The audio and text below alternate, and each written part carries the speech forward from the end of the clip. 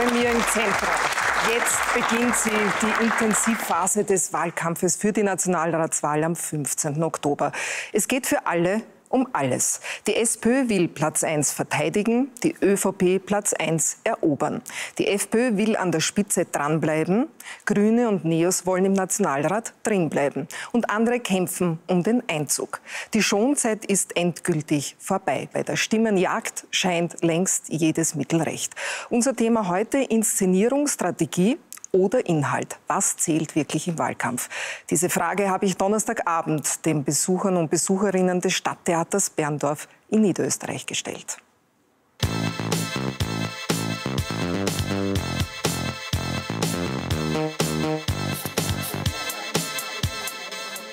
Inszenierung, Strategie oder Inhalt? Was zählt wirklich im Wahlkampf? Was glauben Sie? Äh, Strategie. Warum?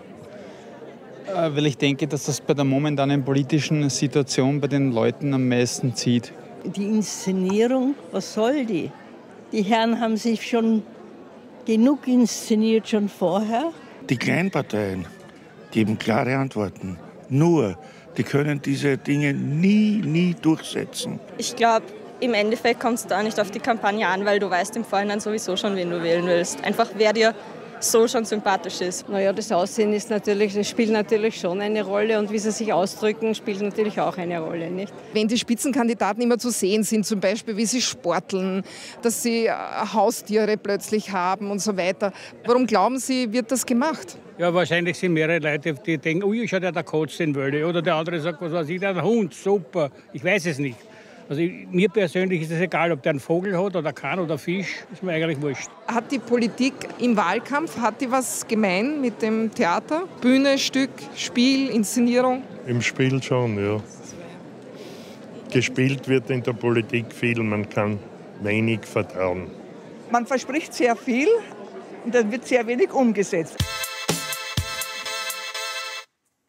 Und was meinen meine Gäste zu dem Thema Inszenierung, Strategie oder Inhalt? Wir begrüßen Norbert Hofer, zweiter Listenplatz FPÖ. Er sagt 100% Verantwortung statt 95% Inszenierung.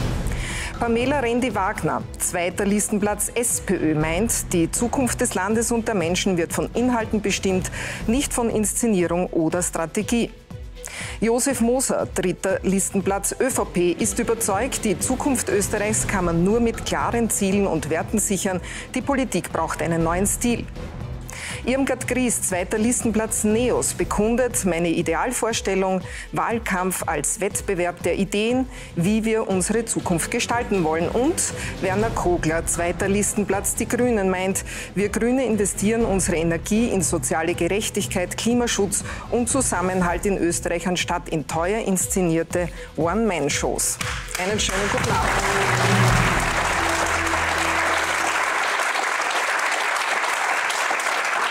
Wir haben für unsere Sendung jeweils die Listenplatz Zweiten eingeladen und das wäre für die ÖVP Elisabeth Köstinger gewesen und aufgrund des Parteivorstandes, der seit 18 Uhr tagt, konnte sie nicht kommen oder kann sie nicht kommen. Dafür ist eben Josef Moser als Listenplatz Dritter bei uns. Das freut uns. Ein Zuschauer hat uns äh, geschrieben und gefragt, wird die Wahl 2017 brutal oder wertschätzend? Das werden wir vielleicht in einer Stunde beantworten können. Herr Hofer, die Inszenierung, die Wahlkampfinszenierung der SPÖ, was halten Sie, also wie gut schätzen Sie sie ein?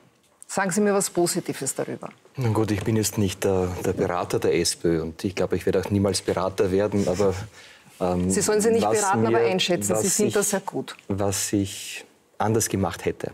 Also wenn ich jetzt Bundeskanzler gewesen wäre, äh, hätte ich nicht Pizza ausgetragen, sondern ich hätte gezeigt, ich bin Kanzler, ich nehme das äh, Ruder in die Hand, äh, lade Wirtschaftskapitäne zu mir ein, schaue, wie man Österreich wieder nach vorne bringt. Also das Positive, das, Herr Hofer, da das fällt Positive. Mir, da tue ich mir wirklich Es schwer, muss ich Ihnen sagen. Gut, dann- ich, dann das ist eine, eine schwierige Aufgabe, da, bei dem, was passiert ist in den letzten Wochen, äh, dann auch etwas Positives zu finden. Ich will da gar nicht böse sein, aber ich sage, da ist vieles schiefgegangen. Frau Pamela Rendi-Wagner, was finden Sie an der ÖVP-Wahlkampfinszenierung gut?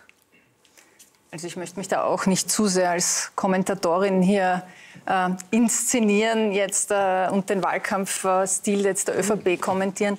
Äh, ich denke, es ist zwar spannend und interessant manchmal für Medienbeobachter, auch Einzelpersonen, ähm, über Berater, Wahlkampftechnik, Inszenierungen hier sich zu äußern, das von oben nach unten zu debattieren. Aber so wie ich es im Vorspann auch gesagt habe, ich glaube, wichtig ist, dass die Menschen ein Recht darauf haben, zu wissen, was nach dem 15. Oktober in diesem Land sich weiterentwickeln soll, was verbessern, was unsere Lösungsvorschläge für dieses Land sind. Und ich glaube, da wäre ich äh, sehr neugierig, was die ÖVP hier auf die Fragen, Herausforderungen dieser Zeit von heute und morgen zu bieten hat. Und diese Antworten würde ich gerne sehen und das würde ich gerne. Gut, äh, ich würde so gerne eine positive Antwort von jemandem finden, weil irgendwer von Ihnen wird dann zusammenarbeiten müssen in einer etwaigen Koalition. Und dann hoffen wahrscheinlich die Wähler und Wählerinnen, dass man am jeweils anderen auch was Gutes findet. Frau Gries, ein Versuch eben, äh, um diese erste Runde doch auch äh, in dieser äh, Causa fertig zu machen. Was finden Sie positiv äh, am grünen Wahlkampf?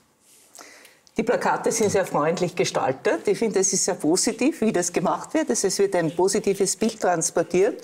Und die Grünen sind mir bisher nicht aufgefallen, dass sie die Gesellschaft auseinander dividieren. Gar nicht. Ne? Die versuchen das schon positiv zu machen. Das finde ich gut. Andere Parteien machen das nicht in dem Maß. Herr Kogler, was finden Sie am- an der Wahlkampfinszenierung der Freiheitlichen gut? Das ist eine herausfordernde Frage, äh, wenn man ehrlich ist.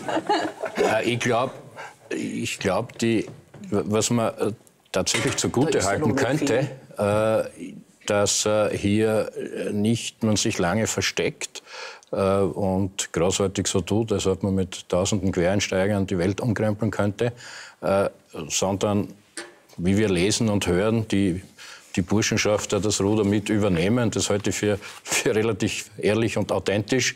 Äh, Und äh, das wäre zumindest ein Versuch, was Positives zu sagen. Herr Moser, die Neos? Ich finde es sehr positiv, dass also in die Richtung geht, dass die Neos auch anerkennen, dass also Österreich enkelfit gemacht werden muss, dass es notwendig ist, Österreich wieder auf die Überholspur Spur zu bringen, dass es notwendig ist, den Staatshaushalt zu konsolidieren und gleichzeitig das Geld zu haben, um Österreich sozialer gerechter zu werden. Das ist ein Ansatzpunkt, den auch die Neos haben, ein Ansatzpunkt, den, glaube ich, alle Parteien haben müssen, indem sie Inhalte in den Mittelpunkt stellen, um eben Österreich nach vorne zu bringen. Derzeit haben wir sehr viel verspielt. Wir haben in der Vergangenheit sozusagen auf Kosten der Jugend gelebt und das muss geändert werden. Und wenn es in diese Richtung geht, haben wir einen guten Ansatz und eine gute Grundlage. Gut, man muss auch sagen, es ist auch wie eben äh, in der Kunst, in der Kultur, es gibt gute und schlechte Inszenierung. Mhm. Und auch Inhalte Mhm. müssen gut verkauft werden, damit es die Leute dann Mhm. auch nachvollziehen und verstehen können. Äh, Herr Moser, der Meister der Inszenierung, Sie sind ja eigentlich ein blaues Urgestein, obwohl Sie niemand da waren. Der Meister der Inszenierung war schon auch Jörg Haider. Was für Lehren nehmen Sie eigentlich aus dieser Zeit mit in den Wahlkampf? Also Urgestein war ich nie, war auch nie Parteimitglied. Aber ein Punkt ist da, dass was wichtig ist, dass man so tatsächlich eben auf die Leute hören muss, dass man auf die Bedürfnisse der Leute eingehen muss und gleichzeitig die Leute eben zeigen, dass also eine Verlässlichkeit da ist und dass man ihre, ihre Ängste und Sorgen ernst nimmt und gleichzeitig ihnen Antworten gibt, auch für die Herausforderungen, die auf uns zukommen. Nämlich, dass wir in Österreich eine alternde Bevölkerung haben, dass die Ressourcen knapper werden und gleichzeitig auch, dass wir in internationalen Wettbewerb stehen. Das heißt, die Politik muss mehr zu den Bürgerinnen und Bürgern gehen. Die Politik muss Antworten geben und diese Antworten sind gerade jetzt gefragt, weil im Österreich in dem Fall in der Vergangenheit an, an Wettbewerbsvorteil verloren hat. Aber von der Inszenierung, was nehmen Sie damit? Ich halte nichts von Inszenierung. Mir geht es darum, dass die Inhalte im Mittelpunkt stehen und Inszenierung allenfalls die Inhalte unterstützt, aber nicht die Inszenierung äh, eben gegen die Inhalte oder beziehungsweise losgelöst von den Inhalten eben betrieben wird. Frau Rendi-Wagner, Sie haben eben auch mitgespielt in einem äh, House of Cards nachgestellt. Also in eine Kabinettssitzung wurde nachgestellt, war eine Schauspielerin, die anderen waren dann eben Kanzler, Kanzler, Sie und noch andere. Ähm, haben Sie, dürfen Sie da mitreden oder haben Sie, lassen Sie sich den Text da vorschreiben? Machen Sie das, was Ihnen da vorgesetzt wird? Ich glaube, es ist jetzt auch äh, müßig darüber zu reden, wie so ein Video gedreht wird und welche Rolle ich jetzt dort als Statistin spiele, sondern schauen wir uns an, was der Sinn und Zweck dieses Videos ist. Und genau das ist jetzt, auf was es ankommt. Nämlich das Video, äh, egal an welche Serie es jetzt angelehnt ist, hatte eine Aussage, nämlich Österreich geht es gut. Der Wirtschaftsaufschwung ist in Österreich angekommen. Wir haben die besten äh, Wirtschaftszahlen seit zehn Jahren, auch was die Arbeitslosenquote betrifft. Auch die aktuellen Zahlen von dieser Woche belegen das einmal mehr mehr. Aber die Frage ist, wo kommt das an? Kommt der Wirtschaftsaufschwung wirklich bei der Bevölkerung bei den 95 Prozent an oder bleibt er bei 5 Prozent, den oberen 5 Prozent hängen? Und genau das war der Inhalt und das Video hat eines bewirkt. Es wurde darüber diskutiert. Wir haben dieses Thema äh, als Gesprächsthema damit in die Gesellschaft gebracht, zu den Leuten gebracht und das war der Zweck des Videos. Wie, welche Rolle, ob ich jetzt, ich bin keine Regisseurin Aber und kann natürlich weil Sie natürlich nicht, äh, gesagt haben, also wenn ich äh, es Regieassistenz genau übernehmen. Habe, Sie haben gesagt, Sie waren Statistin. Also das heißt, Sie nehmen schon den Text, der Ihnen vorgegeben wird von den Strategen oder so und machen das dann auch so und würden nicht sagen, das sage ich auf keinen Fall.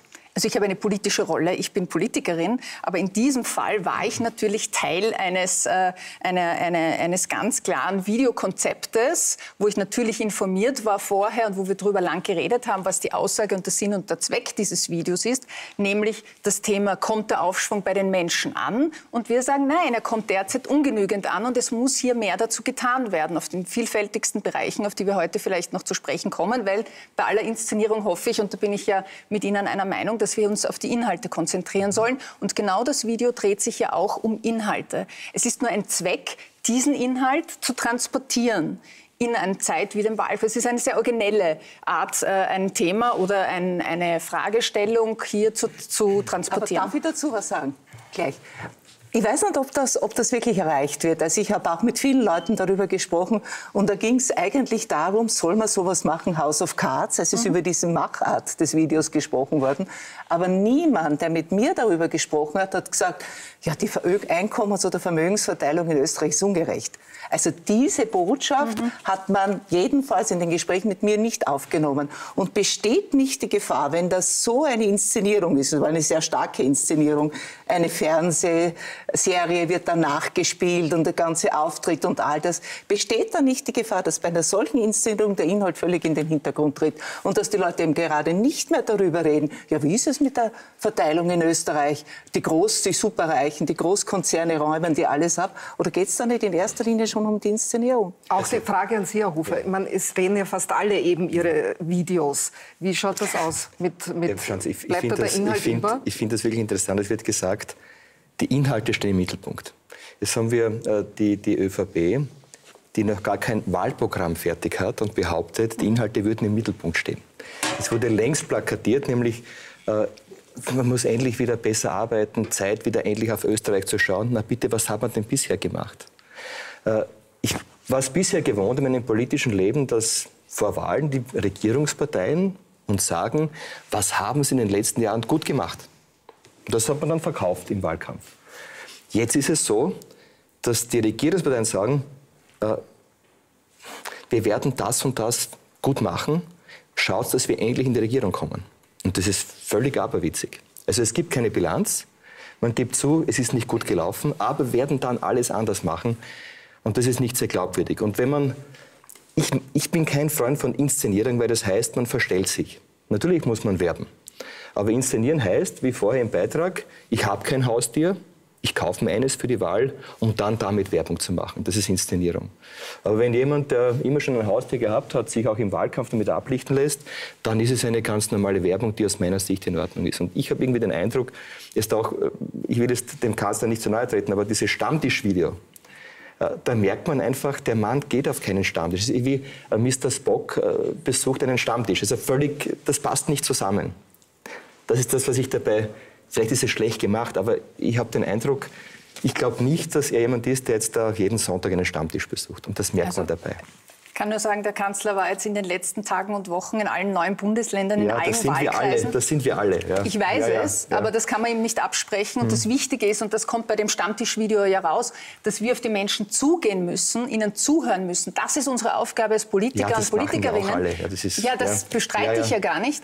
Aber das soll auch Inhalt dieses äh, Videos sein. Das macht man das Stammtischvideos gerne im Nein, wo man sich auch Themen als, als Politiker aussetzt, die vielleicht nicht die sind, die man eins zu eins inhaltlich teilt, nämlich Meinungen in der Bevölkerung, aber auf die wir als Politik Antworten trotzdem finden müssen. Und diese Positionen und Ängste, die in Stammtischen hier verkündet werden, sind welche, die wir auch als Politiker ernst nehmen müssen. Und genau dazu dient dieses Stammtischvideo. Und ich finde, das bringt das sehr treffend rüber. Naja, äh, ich bin ja nicht der Videoberater von allen. Äh, ich kann nur, wenn die Frage so gemeint ist, die, die, die den grünen Zugang schildern, da gibt es Videos, die ernst gemeint sind und auch gemacht sind, auch mit unserer Spitzenkandidatin Ulrike Lonacek, die hier, glaube ich, schon äh, seriös und glaubwürdig äh, auftritt und Erfahrung und Reputation einbringt. Wir haben aber natürlich, das haben wir eine gewisse, gewisse Tradition mit erfunden und begründet in Österreich, augenzwinkernde, durchaus lustige, mit Pointen versehene Videos, die setzen sich aber ab. Ja, das geht bis hin zum Comic, aber das ist sozusagen die moderne Erschließungswelt äh, äh des sich äh, Präsentierens. das will ich jetzt bei den anderen auch nicht abqualifizieren, überhaupt nicht. Aber es ist halt immer die Frage der Tonalität und ob da ein bisschen Pfeffer und der Witz drin ist. Ja, das trauen wir uns zu, das machen wir gerade wieder. Ich kann nur für mich sagen, äh, bin ja auch als Wahlkämpfer, denke ich, eingeladen und nicht als äh, Politikkommentator. Äh, dass bei mir die Videos am besten äh, funktionieren, die Ausschnitte aus echten Situationen sind. Das sind in meinem Fall oft auch Fernsehauftritte kurz geschnitten oder äh, Parlamentsreden dort, wo man halt wirkt oder Reden auf öffentlichen Plätzen oder in Diskussionen die werden in der Regel, äh, in der Regel oder nicht mehrheitlich extra produziert. Das ist auch untypisch, funktioniert auch, äh, wenn man was zu sagen hat. Aber das ist halt überall anders. Äh, ich bin mir auch nicht sicher, wie weit wir hier im ORF jetzt Videoforschung weiter betreiben genau. sollen. Oder in dieser äh, Diskussion. Ja, ja. Oder ich habe den Titel falsch verstanden. Dann schauen wir uns die Wahlplakate an, weil die Wahl der richtigen Worte, die kann über politischen Erfolg oder Misserfolg eben entscheiden. Noch immer denken äh, viele, dass eben politisches Denken bewusst, rational und objektiv ist. Aber die Forschungen zeigen, dass nicht Fakten unsere Meinungen beeinflussen, sondern Frames, also Deutungsrahmen. Sprache ist Politik. Wie bewertet die Sprachforscherin Elisabeth Wehling die Frames auf den Wahlplakaten? SPÖ sagt als Slogan, nehmen Sie sich, was Ihnen zusteht. Sicherlich ist der Slogan einer, der ganz schnell auch denken lässt an eine Frage des Eigeninteresses, wir gegen die, wir holen uns, was uns zusteht. Und im Übrigen öffnet er natürlich die Flanke hin zu der Frage, ja, was steht denn dem Einzelnen zu? Ja, steht denn Person A mehr oder weniger zu als Person B? Ja, steht denn vielleicht einem Manager so und so viel Gehalt zu, weil er mehr arbeitet? Es wird Zeit, hat erstmal keine politisch-moralische Aussage. Ich denke, es wird dem geschuldet sein, dass es einen Umbruch gab in der ÖVP, dass es jetzt die Türkisen sind und nicht die Schwarzen, dass wir die Liste kurz haben. Zeit für was Neues, es wird Zeit, Aufbruch. Ich denke, diese Stimmung soll dort eingefangen werden. Fairness sagt erstmal nichts. Natürlich auch hier wiederum füllt die FPÖ in ihren Kampagnen, in ihren äh, Clips und so weiter das ideologisch aus. Aber erstmal ist es ein recht loses Wort. Da muss man gespannt sein, inwieweit sie es schaffen, diesen Fairness-Begriff aus ihrer Sicht heraus zu definieren und greifbar zu machen. Ich würde ihn als Spartenslogan bezeichnen. Ich gehe auf das Thema Gender, ich mache es mir zum Vorteil, dass wir die einzige Spitzenkandidatin ins Rennen schicken. Und das ist jetzt unsere Message. Bisschen kurz gegriffen, vielleicht an dieser Stelle. Die Neos, weil die Perspektive der Menschen zählt. Ja, also eigentlich das Motto, wir sind ihr. Ich denke tatsächlich, hier hat man gesagt, wir müssen in dieser Kampagne klar machen, A und O unserer Gruppe ist, wir speisen uns direkt aus der Bevölkerung. Wir sind eine Bewegung, wir sind keine etablierte Partei mit Berufspolitikern und das ist sicherlich auf eine clevere Art und Weise auch erreicht an der Stelle. Ich muss ja sagen, als ich die Plakate äh, gesehen habe, ich bin ja auch erst vor einer Woche aus dem Urlaub zurückgekehrt, habe ich ja bei den Plakaten von, Ihnen, von den Parteien äh, SPÖ und FPÖ zuerst geglaubt, dass sie umgekehrt sein müssten, weil Fairness an und für sich ein Wort ist, das man eher bei der SPÖ ja, auf Plakaten gefunden hat und hol dir, was dir zusteht auf der... Da haben Sie wieder eine Expertin gefunden, die nämlich auch nichts sagt. Das ist, also, das ist wieder so typisch ORF, wieder jemanden zu finden, der dann wieder irgendwo einschachtelt und das ist sehr gut und das sagt gar nichts. Ähm, ich weiß gar nicht, wo sie diese Leute immer herfinden. Das ist völlig sinnlos, äh, irgendjemanden zu suchen, der dann beurteilt und oberlehrhaft sagt, das ist ein gutes Plakat, das ist ein schlechtes Plakat. Also, Ähm, Herr Hofer, also ich Sie muss Ihnen wissen, schon sagen, Sie wissen, Sie ich wissen muss so Ihnen gut wie ich, sagen, dass die Frau Wehling eine anerkannte Ja, Expertin ja, ja, ist. aber stimmt es nicht, dass man Fairness, Herr, Herr Hofer, stimmt es nicht, also dass Fairness früher eben eher auf, der, auf den Also, SPÖ-Wahlplakaten die Dame hat gesagt, war? das Wort Fairness sagt nichts. Also wenn das eine Expertin sein soll, also dann weiß ich nicht. Das ist ein, ein Wort, das sehr viel sagt. Weil es nämlich genau das fehlt in Österreich, nämlich diese Fairness. Äh, Und dann zu sagen, ja, also das ist ein Wort, das sagt überhaupt nichts. Typisch eine Expertin, die wieder irgendwo ein Naheverhältnis hat zu einer anderen Gruppe. Na, aber Ganz schauen Sie, das ist, glaube ich, das ist, glaube ich, das Ja. gemeint ist. Sie, sie be- bekrittelt ja nicht die Verwendung des Begriffs Fairness. Sie sagt ja nur, er ist beliebig zuordnenbar. Das ist ganz deutlich herauskommen. Äh, ich würde mich schon ein bisschen dagegen äh, verwahren, die Frau Wehling hier auf diese Art und Weise zu bezeichnen. Die war gerade eben erst äh, äh, große Vortragende beim Forum Alpbach, äh, auch wie es gelingen kann, äh, speziell im deutschsprachigen Raum und im englischsprachigen Raum, äh, die Klimakatastrophe als solche zu bezeichnen äh, und den Menschen näher zu bringen, damit wir Politiker uns mehr trauen. Da fällt es nämlich wirklich. Und glaube ich muss ich- sagen, das ist wirklich eine, wirklich eine Expertin, äh, die äh, an am- amerikanischen Universitäten ist und auch in Europa bekannt ist. Also äh, da würde ich, da würde ich einmal, da würde ich einmal äh, ein bisschen vorsichtig bleiben. Herr Moser, keine politisch-moralische Aussage hat sie kritisiert, äh, den Spruch, es ist Zeit. Was Also für eine man- Aussage ist das? Also wenn man sagt, es ist Zeit, wenn Sie sich anschauen, dass von 2010 bis 2016 die Staatsschulden um, um mehr als 50 Milli- äh, Milliarden gestiegen sind. Wenn Sie schauen, dass Österreich, was den Wirtschaftsstandort... Aber Herr Moser, jetzt in allen Moral- Ehren, aber denken, glauben Sie Ja? wirklich, dass jemand, der mit dem Auto an der Kreuzung steht und das Plakat sieht, an die Staatsschulden denkt? Na, es ist Zeit, et- etwas zu tun. Es ist Zeit, im Gesundheitssystem die nötigen Maßnahmen zu setzen und auch beispielsweise der Gesundheitsministerin die Möglichkeit zu geben, dass sie tatsächlich den Gesundheitsbereich bestimmen kann, weil es derzeit zersplittert ist und die Möglichkeit, da tatsächlich eben eine Gesundheitspolitik für die Bürgerinnen und Bürger zu machen, eingeschränkt ist. Und deswegen Es ist muss die ÖVP es ist, nein, es ist Zeit, es ist Zeit in dem Zusammenhang auch im Bereich der Pflege, wo es darum geht, dass derzeit immer noch klare, äh, klare Qualitätsstandards festgeschrieben ist, wo nach wie vor keine gesamthafte Planung da ist, dass dementsprechend das gemacht wird, um die Pflege zukunftsfit zu machen. Es ist Aber Zeit, warum, warum steht dann zum Beispiel nicht drum, es ist Zeit für eine gute Pflege?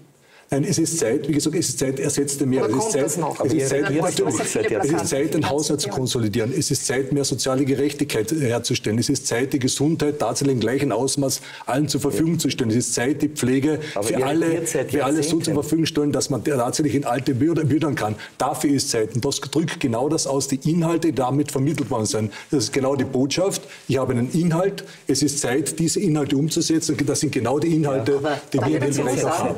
Aber Herr Moser, Ja. Gerne. eine Partei, und der Herr Kurz tritt ja doch auch für eine Partei an, die gibt es ja noch, nicht? Also eine Partei, die seit wie lange in der Regierung ist? 30 Jahren. Und die jetzt kommt und sagt, es ist Zeit, was zu tun. Wir haben jetzt 30 Jahre jetzt Zeit gehabt, aber die Zeit hat nicht gereicht, offenbar, oder ich weiß es nicht. Warum soll das jetzt anders sein, als es bisher war? Dr. Ries. Da muss sich der, der an der Kreuzung steht, schon denken, aber Dr. Ries, Yesterday is History, das ist Geschichte. Es geht darum, und ich bin als zwölf als Rechnungshofpräsident, das wissen Sie auch, dafür gestanden, dass Österreich verändert wird, dass Österreich da, dorthin gebracht wird, dass es enkelfit Das ist. betrifft Und nicht das Sie genau, persönlich, sag ja, Moser. Das ist genau die Politik, wie gesagt, die gemacht werden muss. Und da ist eben Sebastian Ja, ja. Kurz in dem Fall, den Sie auch kennen, jemand, der in dem Fall gezeigt hat, dass ihm es ein Anliegen ist, die Zukunft zu gestalten. Er ist ist am einer, längsten dienende Moment, er Regierungsmitglied. ist einer, der aufgrund seines Alters derjenige ist, der weiß, mit der Politik, die heute gemacht wird, wird er und seine Generation in den nächsten Jahrzehnten leben. Und einer auch, der gezeigt hat, so kann ich sagen, als Rechnungshofpräsident, wenn ich ihn geprüft habe, dass er alles getan hat, um tatsächlich sparsamer, wirksamer auch in seinem Ressort agieren zu können. Und auch einer, der die ÖVP aufgebrochen hat, weil es sind jetzt in dem Fall 100 Köpfe neu in, hineingekommen auf den Listen, die bis dato nicht kandidiert haben und auch nicht Parteimitglieder sind. Und das ist genau der Punkt, dass sich das zur Bewegung entwickelt hat und 100.000 Unterstützer in dem Bereich genau in diese Richtung gehen. Das ist ja der Zeit. Neue Politik Politik zu machen. Ja, aber interessant wird es nach der Wahl. Absolut. Weil die 109 werden Absolut. nicht die Bünde ersetzen Absolut. und nicht die Länder ersetzen. Absolut. Denn das, woran es bisher geleist, ge nicht geklappt, weshalb es nicht geklappt hat, das waren die Länder, das waren die Bünde, weshalb nichts weitergegangen Ja, ist. aber Wir sind eines sagen, eines, ganz kurz möchte ich sagen, ist, das habe ich bis jetzt gesagt, ich, ich sage es trotzdem. Mich stört das irrsinnig und äh, wir kennen uns seit, seit langem und schön, dass du da bist, aber dass die ÖVP sich nicht traut, ja, die Listen zweite herzuschicken. Das fällt mir auf, ja. Das mit der Vorstandssitzung, das, das, ist das erklärt kannst du vergessen. Ja. Das ist schon erklärt Äh, worden. Dann bei der Diskussion Aber haben- Kernsprache, Ja. Kritik- ja, darf ich aus, aber- ganz kurz. Ja, aber Kern- nur, dass, weil Sie sagen, dass es, Ja, es ja. läuft seit Ich bin auch 18 im Uhr Wahlkampf, ja. Ich habe auch, ich hab auch. Termine, glauben Sie mir das, ja. Äh, auch wichtige Termine. Aber genauso Diskussion auch beim ORF, ja. Kern, Sprache, kurz. Wer kommt nicht kurz? Er sagt, er hat eine Sitzung, das war erst am nächsten Tag. Ja? Also, dass man da irgendwie Angst hat, sich der Diskussion zu stellen. Natürlich ist es unangenehm, wenn ich plakatiere, es ist Zeit und bin seit 30 Jahren in der Regierung. Da, da habe ich einiges zu erklären, natürlich. Aber man muss sich der Diskussion stellen. Es sind, absolut. Es sind sechs Wochen noch da, wo eingehend diskutiert wird. Und ich glaube, es ist der Letzte, der, wie gesagt, gezeigt hat, auch in der Vergangenheit, der sich, zu, der sich versteckt und nicht in der Lage ist, beispielsweise auch seine Meinung zu sagen. Das doch. betrifft in dem Fall in Migrationspolitik, das betrifft auch alle anderen Aspekte, die gebracht worden sind. Das heißt, jetzt geht es darum, und das ist genau der Punkt, wir diskutieren herum, wer kommt, wer kommt nicht und wer hat was gesagt, nicht gesagt. Es geht um Inhalte. Das heißt, wenn man sagt, wie gesagt, was zählt im Wahlkampf, im Wahlkampf zählen Inhalte und genau was Frau Dr. Ries angesprochen hat, es geht darum, dass wir endlich den Bürgern sagen, was getan werden muss, in welche Richtung man gehen muss und nicht, dass man sich an der Oberfläche bewegt Bevor, und die, die Inhalte sozusagen zu kurz kommen lässt. erinnere ich mich, dass die ähm, Elfriede, äh, die, die Frau ähm, Steiner-Hämmerle, die Politikwissenschaftlerin, in einem Interview mit dem Hohen Haus gesagt und daran erinnert hat, dass der Herr Stronach, wie er angefangen hat, also wie er gesagt hat, dass er antritt, fast 30 Prozent an Zustimmung hatte. Und je mehr Inhalte er gesagt hat, je konkreter er wurde, umso mehr ist, ist die Zustimmung auch geschwunden. Also es ist, das ist schon auch ein Phänomen. Offenbar ist, ist die Frage, ist muss man immer konkret sein, um auch Erfolg zu haben? Ja, und zwar, weil die Menschen ein Anrecht darauf haben, erstens mal, wo man steht, dass man den Ist-Zustand beschreibt und gleichzeitig sagt, welche Herausforderungen erwarten uns und dementsprechend die weiteren Maßnahmen setzt. Und die Menschen haben ein Bitte, Anrecht Frau darauf. Rende-Wagner. Nein, ich, Ja. ich, ich finde es ja ganz positiv, was man jetzt hier hört. Und ich glaube ja auch dem Herrn Moser, dass das jetzt sein wirklicher Wunsch und Wille ist, dass wir hier über Inhalte diskutieren. Aber die ÖVP ist die in der Runde, die diese Inhalte jetzt in den letzten Wochen und Tagen wirklich am meisten schuldig geblieben ist, was Lösungen betrifft auf Herausforderungen und Fragen der Zeit und vor allem Zukunftsfragen. Und genau das wäre ja spannend. Und ich finde es nicht interessant, das ein, zwei Wochen vor dem Wahltermin zu bekommen, äh, wie wir ja öfters von Sebastian Kurz hören, dass in der letzten Septemberwoche hier dieses Wahlprogramm präsentiert.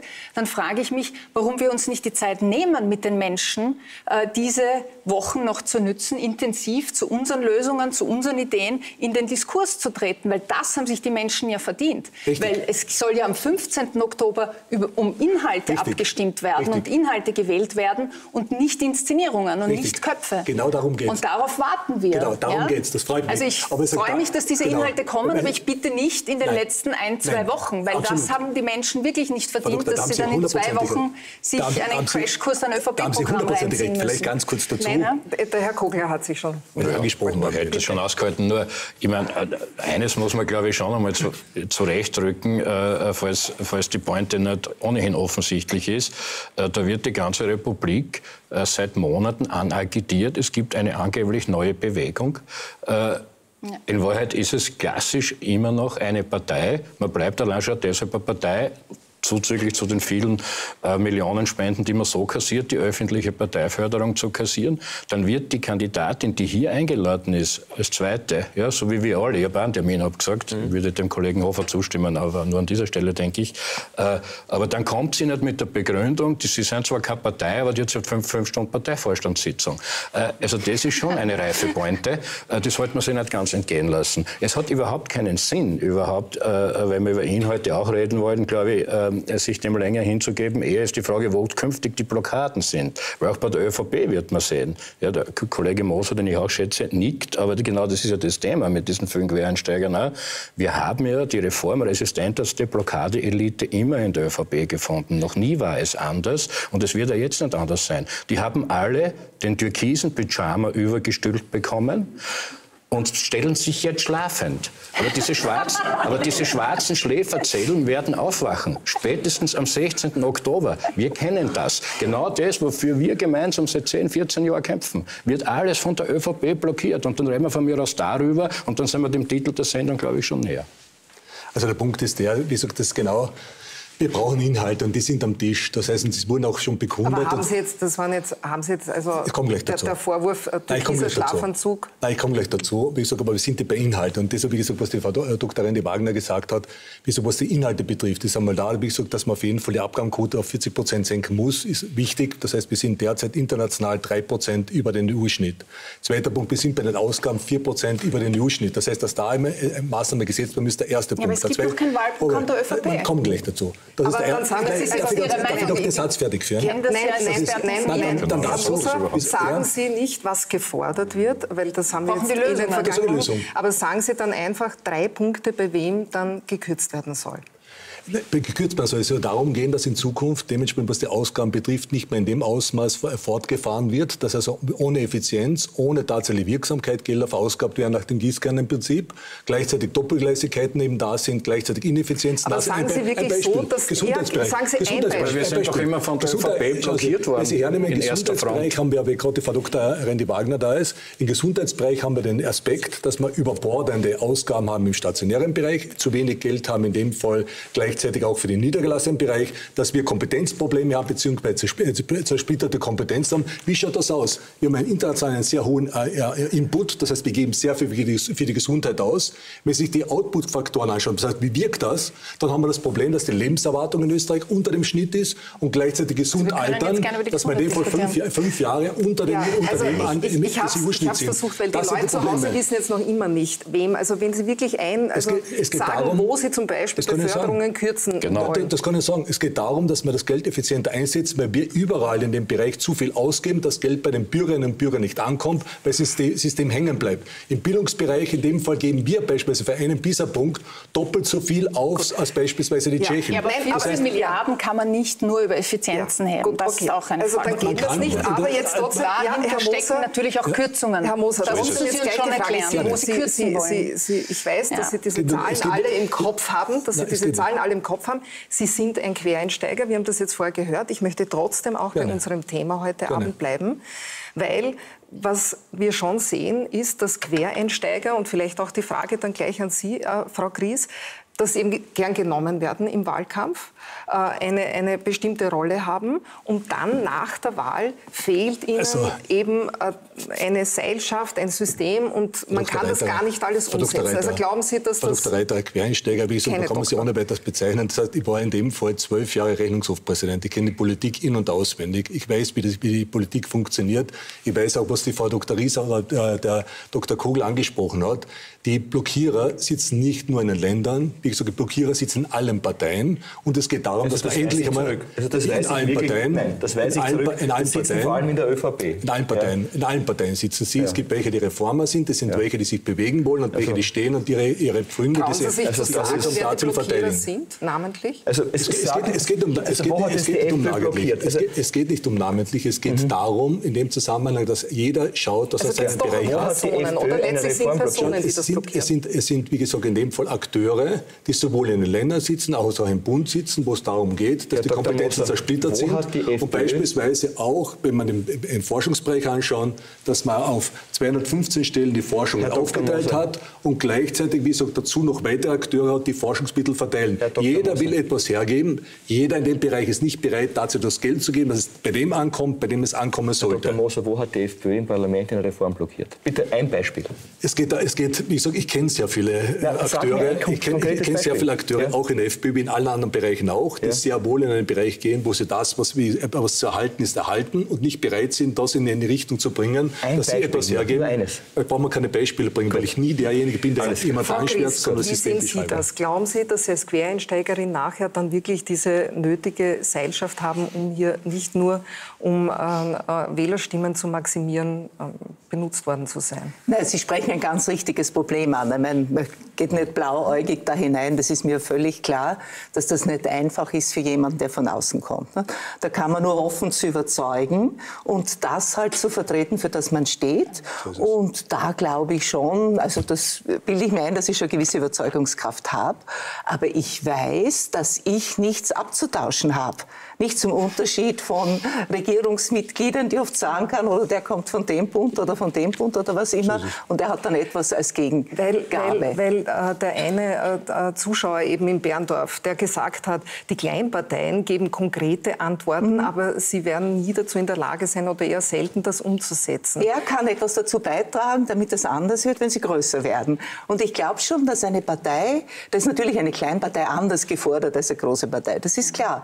Aber eine Partei, die ein klares Programm hat, die Prioritäten setzt, die sagt, das wollen wir machen und dafür treten wir ein, weil all die Probleme, die Sie jetzt angesprochen haben, mit der Effizienz und wo das Geld versickert und so, das hat ja ein tiefer liegendes Problem und das ist bei uns die Kompetenzzzersplitterung. Aber auch die Aussage stimmt nicht ganz. Ja, Es also stimmt nicht zwischen ganz. Bund und Ländern. Nein, die, die Also Aussage des Herrn. Nein, nein, des. Herrn. Haben Sie sich's einmal die, die, klare Aussage, die, die klare Aussage. Zum Beispiel ist, sind die Neos klar für TTIP und CETA. Sie persönlich, weiß ich noch aus dem Wahlkampf, sind eher skeptisch. Also so klar sind die Aussagen dann auch nicht immer, weil es einfach auch verschiedene Meinungen gibt. Aber das ist, natürlich gibt es verschiedene Meinungen. Aber die Frage ist doch, ob die Richtung stimmt. Ne? Ob ich Es sage, die oder großen, dagegen? die Was- großen was jetzt? Probleme muss ich anpacken. Und ein großes Problem bei uns ist die Kompetenz. Ja, aber sind Sie jetzt für TTIP Schauen Sie oder sich dagegen? Die sogenannte Bildungsreform an, zum Beispiel, nicht? Wo die Länder wieder in diese Bildungsdirektionen durch den Landeshauptmann hineinkommen. Oder das Gesundheitswesen. Ja, warum ist denn das so schwierig mit den Krankenanstalten? Weil wir diese Zersplitterung Aber haben. sind Sie jetzt Jeder kann sich das wünschen. Aber Sie- wenn Die ich erreiche, Schritte haben wir jetzt ja, gemacht. aber wenn ich erreichen kann, dass dann, wenn der ins Spital geht, der andere zahlt. Na Frau gut, Dr. das Christmann, die ja eine Frage, sind Sie jetzt für TTIP und CETA oder dagegen? Wofür? TTIP. Ah, Für TTIP. Ja. Also ich bin für Freihandel, weil ich glaube, dass der Freihandel uns sehr viel gebracht hat, der ganzen Welt viel gebracht hat, gerade auch den Ländern der untersten Milliarde. Also eine Milliarde von Menschen, die von weniger als 1,90 Euro pro Tag lebt, da ist Freihandel notwendig. Ich glaube aber auch, dass der Freihandel natürlich nicht grenzenlos gelten kann. Und das ist ja auch in diesen Abkommen da ist auch schon vorgesorgt. Als Juristin kann ich Ihnen gleich sagen zu CETA, dass ich die Lösung mit dem institu- institutionalisierten Gericht gut finde. Die ganze internationale Wirtschaft würde ohne Schiedsgerichte nicht funktionieren. Ja? Und daher muss man all diese Fragen mit Augenmaß anschauen und muss man das überlegen. Und man kann nicht von vornherein sagen, das ist schlecht. Also, doch, das kann man. Ich sage Ihnen, TTIP und CETA sind schlecht. sagen, Ja. ist Auch die richtig. SPÖ hat abfragen lassen, die Mitglieder, die waren dagegen. SPÖ war dann doch dafür. Die ÖVP ist auch für TTIP und CETA. Also wissen wir, wo sie stehen. Vielen Aber Dank. wenn wir über TTIP heute reden, Ja. ist es auch überhaupt kein Thema, das am Tisch ist. Und Das ist ein großes Thema, wichtig. Das ist ein großes Thema, liegt glaube ich, am Tisch. Der Herr Trump Wahlkampf. wird Ihnen da nicht Beim zustimmen. Wahlkampf Das ist geht es auch um die Wahlkampffinanzierung. Und wir haben uns angeschaut, wie die Wahlkampffinanzierung 2013 ausgesehen hat für die fünf Parteien, die hier jetzt vertreten sind. Weil die meisten Ausgaben, die höchsten Ausgaben hatte ja das Team Stronach. Und am zweitmeisten sieht man jetzt hier eben äh, die ÖVP. Normalerweise eine 7-Millionen-Grenze mit 11,3. Die SPÖ äh, 7,3. Die ÖVP hat auch 300.000 Euro Buße gezahlt und äh, die SPÖ 15.000 Euro. Die anderen haben sich eben daran gehalten.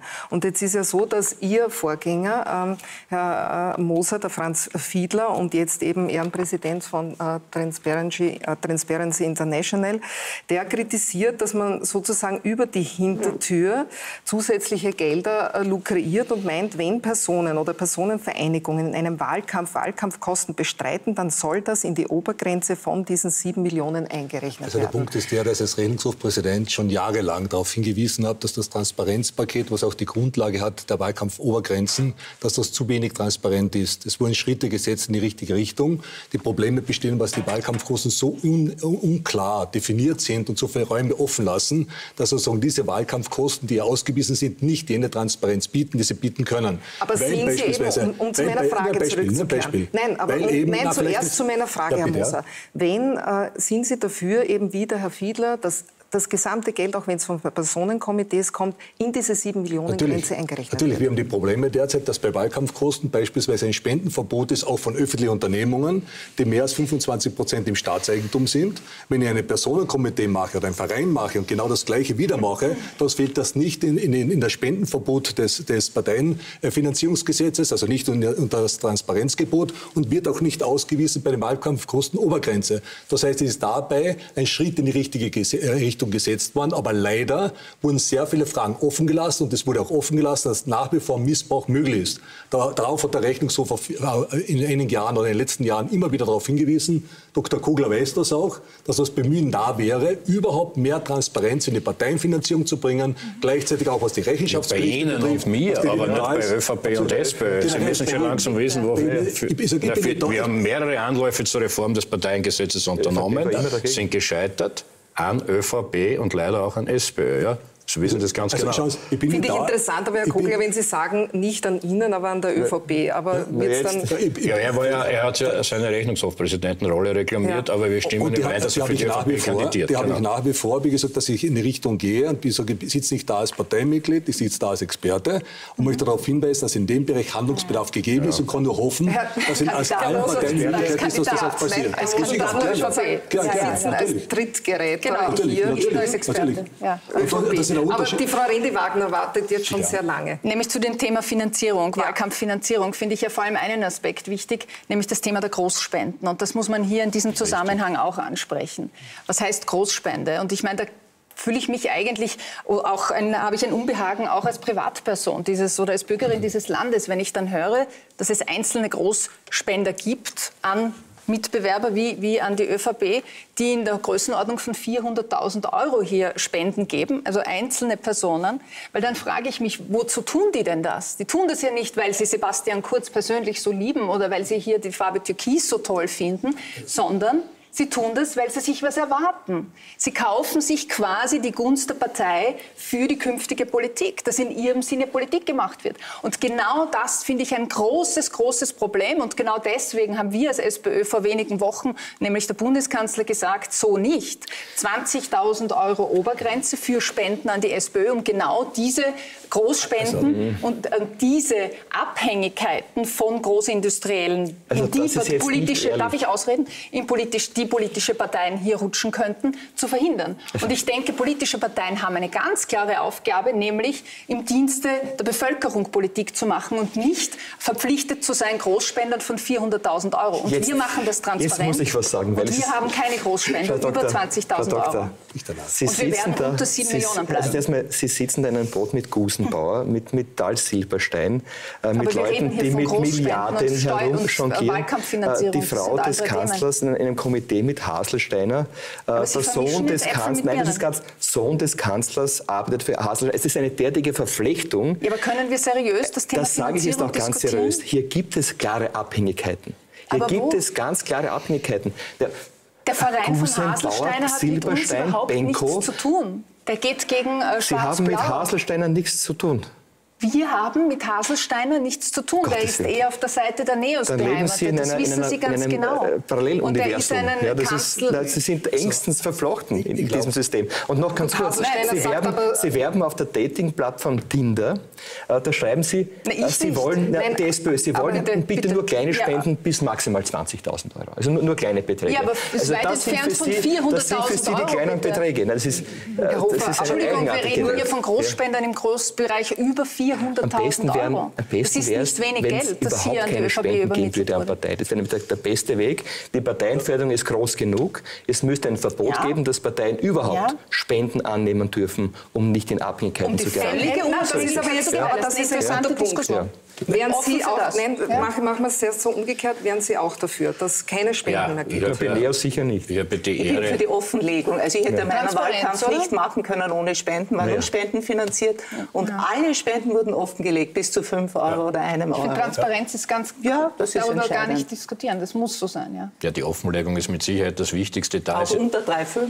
Ja. Da Genau, ist in ja. Österreich, auch wie es jetzt ist, viel gelungen. Das war vor ein paar Jahren dramatisch übel. Äh, Da wurde in Österreich äh, gesetzlich geschützt, wofür man in Deutschland strafrechtlich verfolgt wurde. Das muss man sich mal vorstellen, bei bestimmten Industriespenden, wie dem auch sei.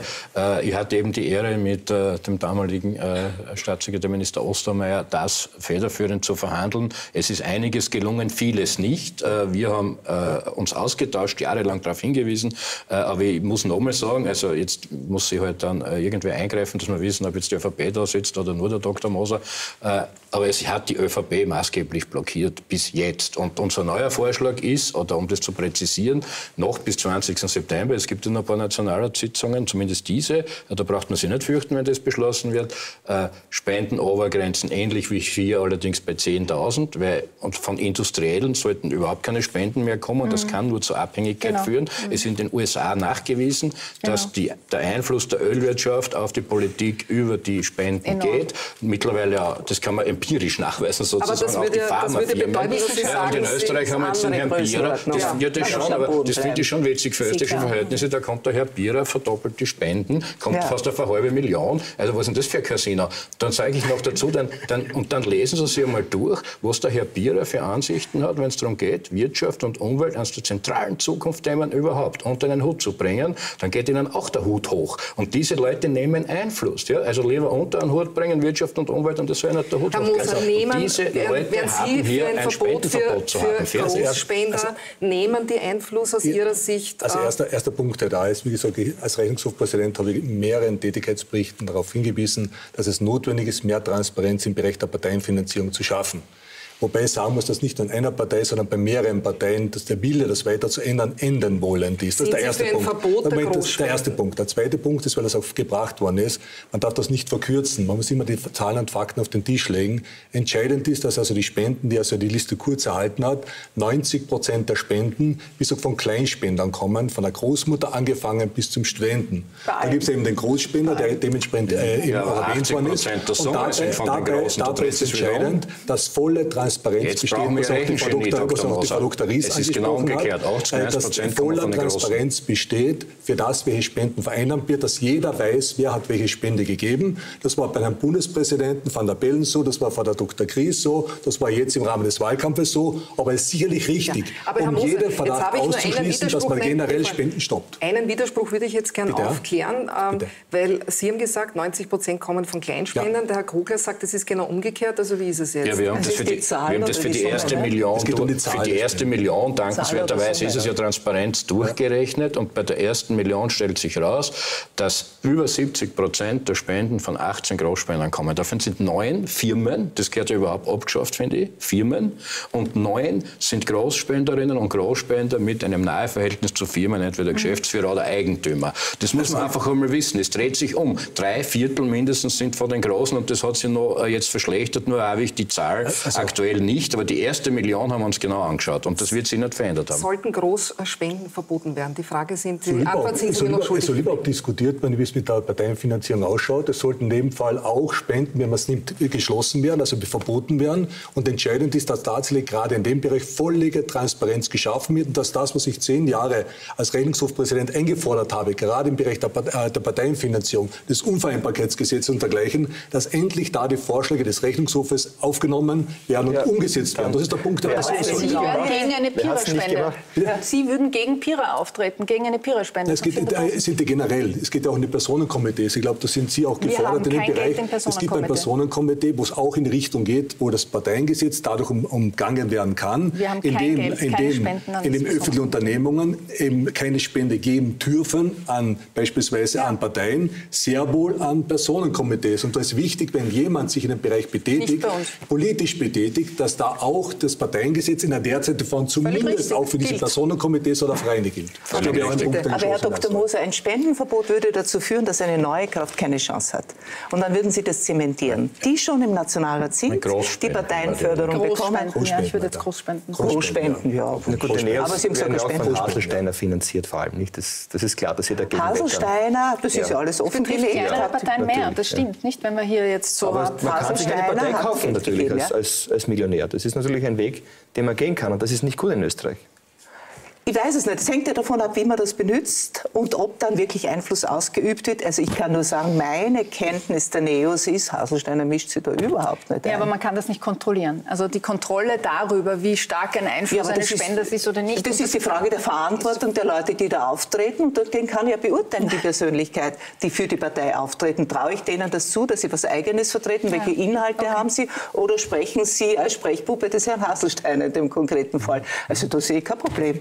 Aber eine wenn wir Obergrenze wäre sicher ja, sanierend eine für den Obergrenze Konflikt. Aber ich finde interessant, Sie haben jetzt gesagt, So wie wir Frau Gries, es geht um die Persönlichkeit, also Mhm. ob man jemandem vertraut oder nicht. Und ich würde schon gern, äh, weil ich finde das interessanter, ich weiß nicht, ob Sie das gelesen haben, von Karl Markus Gauss, äh, vom Schriftsteller in der Süddeutschen, der unter dem Titel Österreichs merkwürdiger Wahlkampf äh, geschrieben Mhm. hat, unter anderem Politiker, die keine Politiker sein wollen, Parteien, die sich als Bewegungen ausgeben, Kandidaten, die vor allem als Seiteneinsteiger ausgewählt wurden. Mhm. Äh, Fühlen Sie sich nicht als ÖVP, Herr Moser? Ich fühle mich auch äh, den Bürgerinnen und Bürgern verpflichtet. Das war ich schon als Rechnungshofpräsident in den zwölf Jahren und ich bin deshalb in die Politik gegangen und habe mich sozusagen das Angebot, auf eine Bürgerliste zu gehen, angenommen, weil eben es zweckmäßig und notwendig ist, Österreich enkelfit zu machen. das ist keine endlich die Reformen, die endlich die Sonntagsabends Reformen, die da sind, umzusetzen, so wissen wir keine Bürgerbewegung, Ja. wie der Dr. äh, Hofer das äh, gesagt hat. Ich möchte nur darauf hinweisen, dass ungefähr 100.000 Unterstützer jetzt in den drei Monaten seit äh, Sebastian Kurz der Bundesparteimann ist, über 100.000 Unterstützer da sind, dass also Hunderte oder Tausende, wie gesagt, Freiwillige da sind, die, diese, die diesen Bereich unterstützen. Man sieht ja auch, dass sehr wohl, der hat die Partei aufgebrochen, den Blick kriegt, dass so wie jemand wie ich, der kein Parteimitglied hat, auch dementsprechend kandidieren kann. Das zeigt also, dass die Offenheit da ist und die Bereitschaft da ist, eine Partei zu öffnen und gleichzeitig neuen Wind in das Parlament kommen zu lassen. Das machen ja andere Parteien auch und das finde ich richtig, so wie die Frau Dr. Gries das auch hat, dass eben neue, die noch nicht in der Politik, in der Parteipolitik eben, eben sich festge festgemacht haben, dass neue hineinkommen, frischen Wind hineinbringen, neue Einsichten hineinbringen und eben nicht mediatisiert irgendwelche Interessen vertreten, sondern Interessen der Bürgerinnen und Bürger vertreten. Und wenn Sie sich die Listen anschauen, wäre es fatal, die Leute, die sich bereit erklärt haben, jetzt der Politik zu widmen, dass man die abtut. Das sind Quereinsteiger, die kommen nur herein, wie gesagt, die haben ja keine Chance, die sind dann einmal eingestiegen, gleich wieder ausgestiegen. Das sind Leute, die es ernst nehmen und die Österreich verändern wollen, mit den Bürgerinnen und Bürgern verändern wollen. Und da soll eine neue äh, äh, Allianz getroffen werden, nämlich über alle Parteien hinweg, dass endlich einmal eine Bewegung stattfindet, dass Österreich endlich einmal enkelfit gemacht wird, was in der Vergangenheit nicht der Fall gewesen ist. Ja, alles. Um Aber wissen Sie, was das Positive an der Frau Dr. Gries ist zum Unterschied von dieser ÖVP-Inszenierung? Die Frau Dr. Gries ist sicher eine renommierte Quereinsteigerin, die damals schon viel mitgebracht hat. Respekt. Aber es würde weder der Herr Strolz noch die Frau Dr. Gries auf die Idee kommen, so zu tun, obwohl die eigentlich schon bewegungsähnlich begonnen hatten, dass sie jetzt so tun, als ob sie keine Partei wären, sondern nur eine sogenannte Bewegung. Das, ich das- diese Ehrlichkeit muss man den Neos äh, anerkennen. Und bei der ÖVP hat man das Gefühl, das ist die Österreich-Partei seit die Babenberger in Wahrheit. Und gefühlt jedenfalls. Und denen gelingt tatsächlich, insofern ist die Sendung ja äh, durchaus wieder berechtigt mit der Inszenierungsfrage, denen gelingt es über weite Strecken, das muss man dazu zur Kenntnis nehmen, vorläufig einmal in der Demokratie, für viele Leute so zu tun, als ob sie auf einmal ganz was anderes wären. In Wahrheit ist ja die Metamorphose noch viel dramatischer als dieses Pyjama-Bild von vorher. Und da, das ist aber gleichzeitig gefährlich und das können die anderen einfach nicht durchgehen lassen. Da können Sie jetzt fünfmal erklären, was Sie wollen. Äh, die ÖVP ist die ÖVP. Und das ist, solange sie sich nicht wirklich ändert in ihren Strukturen, in den Ländern und in den Bünden, nichts Gutes. Und das wird auch der Herr Kurz nicht Und so ohne weiteres wegbringen. Kurz Und das wird alles nur überdünkt. Und die Leute, und die Leute sollen diesem, diesem im wahrsten Sinn des Wortes, dieser grünen Dünche auf den Leim gehen, die klebrig genug ist. Ja, das hat einen Charme. Türkis Bitte, ist Frau das. Gries. Nicht grün. Ja, bei uns wollen auch am Leim Aber zum. Einstieg, es gibt, glaube ich, einen schönen Ausspruch von Andreas Kohl, der sagt, Grün gibt er sich auch auch wenn aus. man nicht Marmelade draufsteht, ist Ja, doch ja. Marmelade drinnen. Aber unabhängig davon, ich verstehe das gar nicht, dieses Zurückweisen zu sagen, ich bin eine Partei. Die Demokratie braucht Parteien. Genau. Was sind denn Parteien? Parteien sind Organisationen von Bürgern. Die Bürger herrschen ja in der Demokratie. Die müssen sich zusammenfinden. Parteien bündeln Interessen und Parteien sollten untereinander einen Ausgleich dieser Interessen in der Orientierung am Gemeinwohl finden. Und Genau. das ist der entscheidende Punkt. Orientierung am Gemeinwohl. Und ich möchte, Ihnen jetzt das ein, Problem. ich möchte Ihnen jetzt einen, ich möchte Ihnen einspielen von äh, Elisabeth Wehling, unserer renommierten Sprachforscherin. Oh, die haben wir gefragt, die haben wir, die haben wir gefragt eben, äh, was das eben äh, überhaupt ist mit der Bewegung. Hören wir uns das mal an.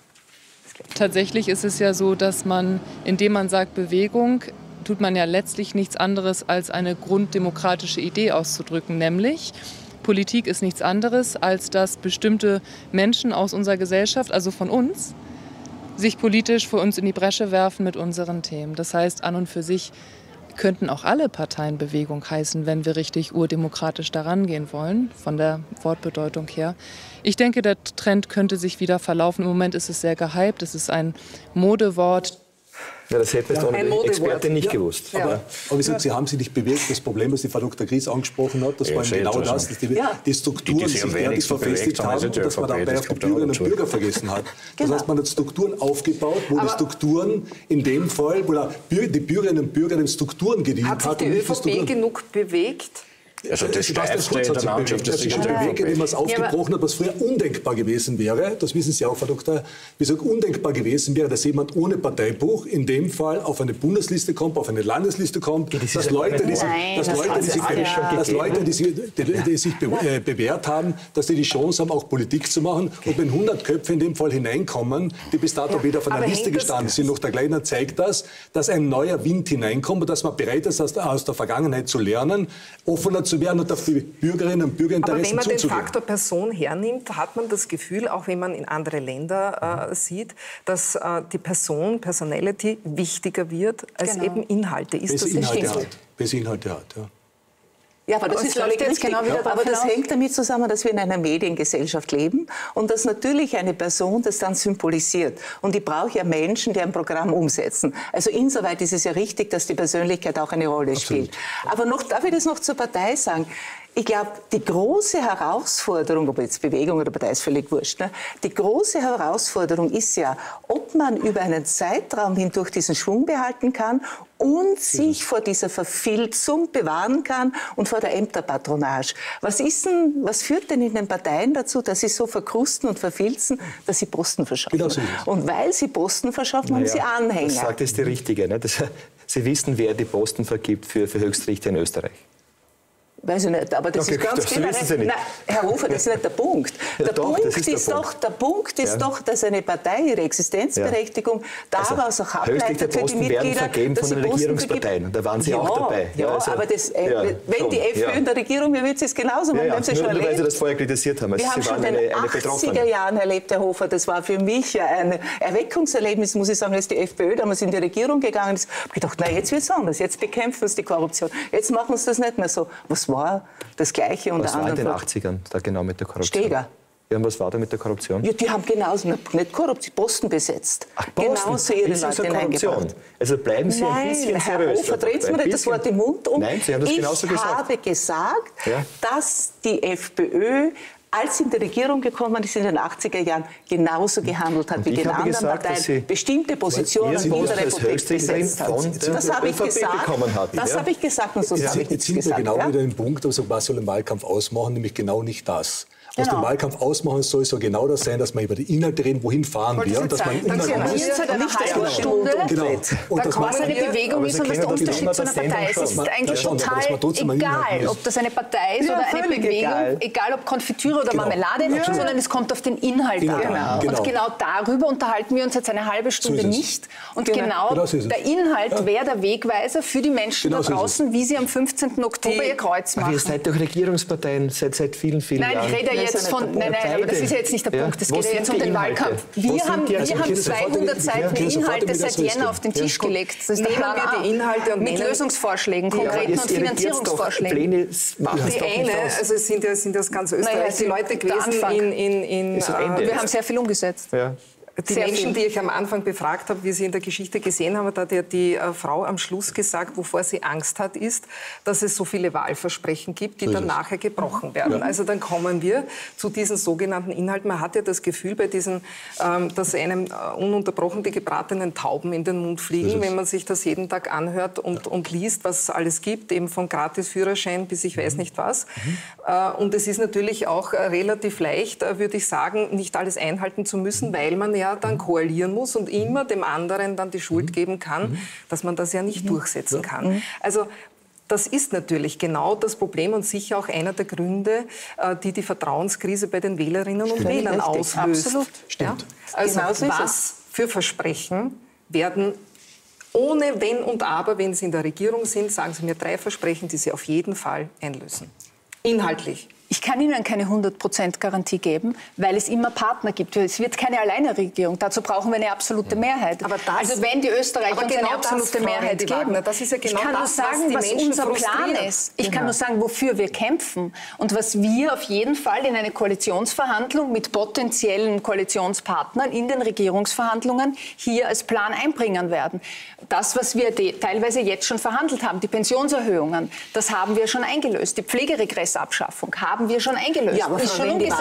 Aber da und das ist genau- nächste aber- ist aber das, was wir jetzt bei den, wir haben ein klares Gegenfinanzierung. Wir haben das schon vor zwei Monaten diskutiert in dieser Stelle. Sie erinnern sich, wir haben ein klares Ja, aber Gegenfinanzierungsmodell. das ist, nicht, das ist nicht beschlossen worden. Genau. Und aber wir haben Sie- haben es. Aber das Aber- liegt immer daran, dass es Nein, Frau Partner Rendi gibt in der. Regierung. Und Frau das sage ich Ihnen schon. Ja. Erklären Sie 40.000 Menschen, die ihr ganzes Erspartes ein Leben lang, weil sie pflegebedürftig wird, mit einem Schlag verlieren. Denen erklären Sie, es ist nicht ganz so. dass wir uns nicht einigen Nein, können aber auf Frau ein Rendi Wagner, Finanzierungs Ist das eine verantwortungsvolle Politik, wenn ich das Budget belaste, wenn ich jetzt eine Maßnahme setze, obwohl ich es nicht gegenfinanzieren kann? Ist das verantwortungsvolle Politik? 2,2 Auch aus den besten Absichten, da könnte jeden, die da wenig Frau haben, könnte noch ein paar hundert Euro Sie dazugeben. haben vollkommen recht. Das Problem beispielsweise Wir haben es gemeinsam beschlossen. Nein, Das Problem auch beim Arbeitsprogramm Ja, das ist war, der Fehler. dass man 40, dass Wir man hätten 40 das Maßnahmen... Finanzierung man, hinterlegt. Das Problem des Arbeitsprogramms, was im Jänner beschlossen worden ist, war, dass man 40 Maßnahmen beschließen wollte bis Juni und die Finanzierung machen wollte im Herbst. Das heißt, man macht einen Vertrag, man kauft das Auto, man schließt den Kaufvertrag ab und sagt, so, jetzt haben wir das Auto, den Kaufvertrag haben wir unterschrieben und im Herbst werden wir finanzieren. Drei Punkte, die auf jeden Fall passieren müssen. Erstens Kann ich noch meine Punkte- Erstens, darf ich sagen? Erstens einmal Schuldenbremse in der Verfassung. Zweitens, dass der Generationenvertrag Die aufrechterhalten wird. Gleichzeitig in dem Fall Schuldenbremse, aber gleichzeitig mit Sanktionen. Dass der Generationenvertrag aufrechterhalten wird, dass die Strukturen so umgebaut werden, dass die Strukturen den Menschen dienen und nicht, dass der Bürger, so wie es derzeit der Fall ist, ja noch- Dingen, die da gar nicht gefragt worden sind jetzt. Es waren drei Das ist, da, das ist eine andere Abteilung. Ja, Frau Rende-Wagner, Sie wollten noch zwei Also wir haben eine ganz klare, genau, unser großes Thema ist, dass der Aufschwung gut ist. Der Aufschwung ist in Österreich da. Aber wir müssen alles daran setzen, dass er bei den Menschen ankommt und nicht bei 5 Prozent, der oberen 5 Prozent in dieser Gesellschaft hängen bleibt. Und dazu braucht es noch viele Maßnahmen. Das ist, dass wir den Mindestlohn auf jeden Fall, den wir jetzt schrittweise umsetzen werden durch die Kollektivverträge, äh, auch steuerfrei machen. Für alle die ersten 1500 Euro steuerfrei, damit das auch bei den Menschen äh, schließlich ankommt. Wir müssen eine bessere äh, Entlohnung im Bereich der Teilzeit machen. Davon sind viele, viele Frauen betroffen. Wir haben unfaire Überstundenbezahlung, was die Teilzeit betrifft. Das ist ein riesiges Frauenthema. Wir müssen das Thema des Ausbaus der Kinderbetreuung in diesem Land riesig vorantreiben. Wir haben es ein riesiges Loch, vor allem im ländlichen Bereich, was die ganztägige Kinderbetreuung betrifft. Und wir müssen die Pensionen in diesem Land weiter absichern. Das ist auch etwas. Und die ersten Schritte wurden mit der Pensionserhöhung, worauf man sich jetzt geeinigt hat. Das ist keine Absicherung. Das ist Absicherung. Gut, das nein, aber das ist, Herr Entschuldigung, das sichert hier Ja. da, äh, 1,8 Millionen Nein, Leuten Absicherung auf jeden Fall eine. Pension, Ja. Entschuldigung, eine Pension zum, zum, zum Überleben. Eine Absicherung heißt, Absicherung. Ich möchte gerne, dass auch die anderen der noch sagen können, was Aber die Pensionen Sie den Menschen versprechen aber sollten Sie in eine Regierung kommen. Herr Ja, Hofer, Sie haben Aber ich das halte es nur fest, das Konzept, das war das kein Versprechen. Sie haben gesagt, wir werden uns bemühen. Ja, war kein Versprechen. Niemand kann in dieser Doch, Runde ich kann. 100 Prozent hier kann. Äh, kann. etwas versprechen. kann. Was- weil wir alle was- von Koalitionspartnern abhängig Glauben sind. ich kann. Und das ist, äh, Ich sage Ihnen, wir werden wir werden, kämpfen dafür. wir werden nicht äh, regieren, wenn so, nicht so klar ist, dass in einer Koalition mit der FPÖ es einen Ausbau gibt unseres demokratischen Systems in Richtung direkte Demokratie nach dem Vorbild der Schweiz. Weil damit können wir sicherstellen, dass die Menschen auch ein bisschen von der Politik befreit werden, dass man auch selbst entscheiden kann. Alle diese Punkte, die Sie vorher angesprochen haben. Und wir gehen in keine Regierung, wenn wir das nicht umsetzen können. Und das verspreche ich. Bitte, Herr Kucher. Ja. Wollen Sie vorher? Das ist ein weites Feld. Also ich bin auch dafür, dass man die Bürgerbeteiligung stärken muss. Da muss man aber darüber nachdenken, wie man das am besten macht. Denn die Schweiz hat eine jahrhundertelange direktdemokratische Tradition und natürlich setzt Beteiligung, Übernehmen von Verantwortung voraus, Bereitschaft zur Information. Also da muss man viel tun, aber da bin ja. ich ganz bei Ihnen. Ja. Da muss was geschehen, um die Bürger zu beteiligen. Ihr Versprechen, Frau Gries. Mein Versprechen. Also Pension zum Beispiel. NEOS stehen Sie vor einem Pensionskorridor über zehn Jahre oder wie die Leute entscheiden können, wann sie in Pension gehen. Und eine Automatik auch, dass also das Pensionsalter angepasst wird. Wenn die Leute ja älter werden, wir werden alle älter, haben das Glück, älter zu werden. Das ist zum Beispiel ein Punkt. Oder auch Bildung ist ein großes Thema, ne? dass man da noch mehr tut, um die Wertschätzung für die Lehrer zu erhöhen. Wenn man sieht, was hier geleistet wird in unserem Bildungssystem, wir brauchen da die besten Leute. Und bei der also, Struktur. Und bei den also Sie versprechen, dass die Menschen länger arbeiten. Ja. Natürlich, wir werden alle älter. Also wir werden länger arbeiten müssen. Bitte. Ja, vielleicht ist es umgekehrt einerseits leichter, aber auch ehrlicher zu beantworten, äh, was Sie insinuieren. Äh, ich kann mich erinnern, ich bin genau vor vier Jahren in einem anderen Studio, allerdings im Zentrum, mit der Frau damaligen Finanzministerin Fekter gesessen, die genau so von der 40-prozentigen Abgabenquote äh, geredet hat. Also Senkung um, je nach Rechnung jetzt, also plus minus 15 Milliarden, lassen wir es einmal so. Äh, der Herr Dr. Schüssel im Jahr 2000 2 das Gleiche. Was ist rausgekommen am Schluss? Rausgekommen ist, dass gekürzt worden ist bei den kleinsten Pensionen, mhm. weil Steuern ist dann gar nicht so viel gegangen. Und ich kann mich noch gut an diese Regierungsverhandlungen erinnern, da bin ich gerade eingestiegen mit dem Herrn Dr. Schüssel, ist genau darum gegangen, mit dem gleichen Versprechen bei den Kleinen zu kürzen und anzufangen. Aber meine Frage weil man in die, nicht, ja, Herr Kugel, Moment, in die Vergangenheit, sondern in die Zukunft. Ja, genau, da bin ich jetzt. Aber weil man nicht was versprechen kann, was so schnell nicht geht. Wir genau. versprechen, so wie damals, perfekter vor vier Jahren, die gleiche Konfrontation, genau keine Steuersenkung, wir Grünen, weil wir zwar Effizienzgewinne wollen, wir müssen noch die einen oder anderen 100 Millionen heben, das geht kurzfristig, längerfristig mehr, aber wir brauchen ja das Geld. Hier wird ja gerade diskutiert, wie wir die Pflege finanzieren. Ja? Äh, das muss man mit ein paar hundert Millionen, nicht mit 100 unterlegen. Ja? Das ist völlig genau. klar. Äh, und dazu werden wir das brauchen. Deshalb machen wir dieses Versprechen nicht. Und deshalb ist es leichter zu halten. Aber wir werden dafür kämpfen und eintreten, dass die Dinge effizient gehandelt werden, also sehr wohl Einsparungen mit Herz und Hirn, aber das Geld dazu zu verwenden, um dann noch weiter zu kürzen oder den Schlachtruf auszurufen, sondern dort reinzugehen, was notwendig ist. Das betrifft im Übrigen auch die Klimaschutzmaßnahmen. Österreich ist Klimaschlusslicht in Europa, das ist eine Schande. Ja? Und letztlich betrifft es ein Versprechen, das nicht so viel kostet, nämlich, äh, danke für das Kompliment, stärker für Zusammenhalt und gegen die Spaltung der Gesellschaft aufzutreten. Und ich glaube, äh, der Bundespräsident äh, hat es ja bewiesen, der ist ja jetzt, dass Sie werden mir helfen, auch schon äh, ein paar Monate im Amt. So geht das, dafür stehen wir Grüne und das ist, glaube ich, auch zu halten. Ich danke auf jeden Fall für die großteils sehr wertschätzende Diskussion, das muss ich sagen. Dazwischen darf man ja ruhig einmal ordentlich diskutieren. Nach der Sendung sehen Sie den Doc-Film Weiße Wut, Psychogramm eines Amokläufers, der Weg eines schulischen Außenseiters zum potenziellen Amokläufer. Ich bedanke mich eben bei den Zuschauern und bei meinen Gästen für die Diskussion. Reden Sie darüber. Guten Abend.